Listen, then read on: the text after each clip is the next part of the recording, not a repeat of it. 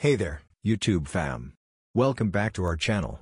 Today, we've got something adorable and informative lined up for you. We're diving into the world of bunny etiquette, yes, you heard it right. It's all about learning how to interact with these cute, fluffy creatures respectfully.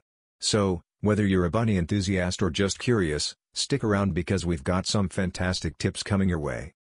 Before we jump into the do's and don'ts of bunny interactions, let's talk about why rabbit etiquette is so important. Rabbits are gentle and sensitive animals, and understanding how to approach them can make a world of difference in their lives. By respecting their boundaries, you can build trust and form a loving bond with these little furballs.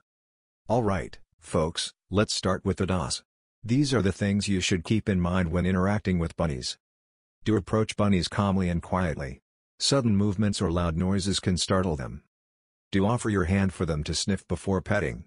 This helps them get familiar with your scent to give them their favorite treats in moderation. A tasty treat can be a great way to bond with your furry friend.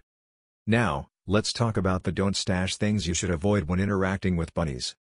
Don't pick up a bunny unless you're experienced and they trust you. It can be scary for them. Don't approach bunnies with loud music or sudden, loud noises. This can stress them out. Don't feed them the wrong foods. Avoid chocolate, onions, and anything high in sugar. Stick to their proper diet. Now that you know the do's and don'ts, let's talk about bonding with these adorable creatures. Spending quality time with your bunny is key. Gently pet them, talk to them softly, and let them get to know you at their own pace.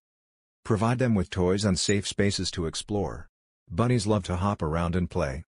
Cuddles are the best. But remember, not all bunnies like to be cuddled. Respect their preferences, and if they squirm or thump, it's their way of saying I need my space. Well, there you have it. Folks, the ultimate guide to rabbit etiquette. Remember, patience and respect are the keys to forming a special bond with these lovely creatures. If you have any bunny-related stories or tips, share them with us in the comments below. And don't forget to hit that like button and subscribe for more adorable content. Until next time, take care, and give your bunnies a little extra love from us. Thanks for joining us today, and we'll see you in the next video. Bye for now.